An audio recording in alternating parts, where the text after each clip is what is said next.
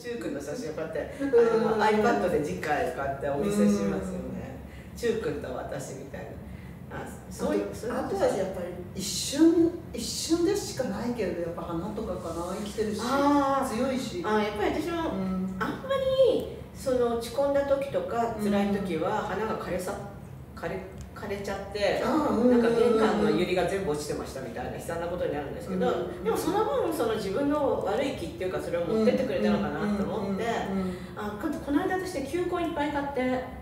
でそれも最初の球根だともう時間的懐かしいんだけど球根って。いやうん。私ヒヤシンスの水耕栽培が好きなんですけど今年出遅れてうん。どうしようと思ったら、うん。なんか青山フラワーズ、あそこにもう根が生えてる、なんか巣の球根花がちょっとついてますうん売ってた。あこれを買ってうちのガラスコップに入れればいいわと思って、うんうんあなんかそれでちょっと普通に球根買うより高かったんだけど、うん。やっぱその私が手を抜いて忘れていた時間をお金で買ったと思えばいいかなとか思って、うんうんそれも今度インスタに載せますね、うん。でであとは近所で近所のスーパーで水仙とかそういうののあ球根が2個ずつこんなキチキチに埋まってるやつが1個280円で売られてたんで。そう。安さに負けて5セットぐらい買っちゃって、でも植え替えないのが植え替えてない子たちはもう葉っぱばっかりガンガンガンガン大きくなっちゃって。うんそうねどうしよう。なっちゃうけどね。それじゃないね。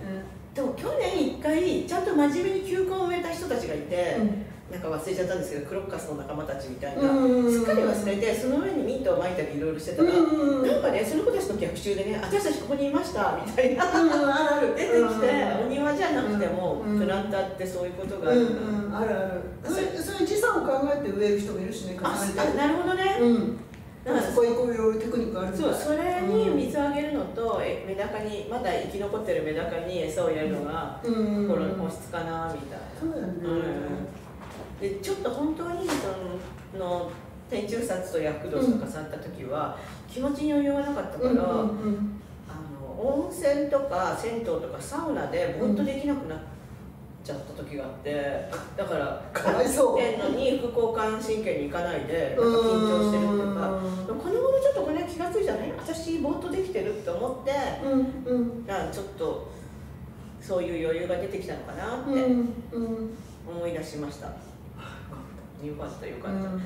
人間ねいろんな時があるんですよねどん底も。こんな明るく見える私もありますよね。あ先生ネックレスあんまりやり慣れてないやり慣れてないからね。うん。そうそうありがとう。はい。じゃああと春先に向けて、うん。じゃあ一番買ったうん。やつはこれ、うん。これとねあとなんだっけ？スロースローンだっけ？あスローンね、うんそうそうそう。ニットの上上下だな。えーすごいノースリーブなんだすごいしっかりしてましたよね。しっかりしてるやつ。うん。ちょっとイギリスっぽいっていうかなんかこ。うしっかり。そうそうそう。あのえええとこのニットだなって感じ、うんうんうん、ガチッとしてるから。そうええとこの人に見えましたよね。そうそうそう。なんかジャッキーとか。あジャッキーは全然イギリスじゃないけど。うんまあまあそういうカインド。まあかつての。ねかつてのね、それの今バージョンみたいな感じの。はえーっとノースリーブニットの短いの。えここがちょっと A ラインだったかな、うん。えーと。ちょっと太めのパンツが、うん。それもニットパンツでベージュ系です、いなるほど、うん、割とお尻とかも拾わないでストーンっていうパンツうんね。うん。間違いない。そんな感じで。その時もそうだったんだけど そこで販売してる？営業？あなんていうの？あのせ接客してる女の子が着てるものをまずこうやって指さしてるね。うん。あの分かるから着てるあサンプルさああなたこれ、うんうん、これあるの？ってないの？どうなの？っ てそれそれなんか絡んでおばさんかな怖いから。先生それかなり怖いから。そうそうどうなんですかなんかねいろんな人がね怖いってやっぱりねよく言われるようになっちゃって。年取るってそういうことで昔そういう怖いおばあさんいたじゃないいたいたあれだって何して。んのそう正しいババアへの道を着々と進んでますよ、うん。まあねあのなんていうのね誰からも舐められるおばさんになりたいわけじゃないけど、うん、誰かそういう人がいないと世の中ダメだから。あいいんじゃないですか、ちょっと怖い人、うんうん。ちょっと怖い人、うん。まあ、そうやって服を買ってます。それはいいことですねそそんな感じですかね、うん。うん。早く春が来るといいね。はい、そうあ早く春が来ると。でも昨日今日暖かかった大寒波がやってくるとかもう一回ね。もう一回ね。うん。まあまあ寒い時があるから春がありがたいありがたいのかなっていう気もしますね、今年はメダカも冬眠することもなく。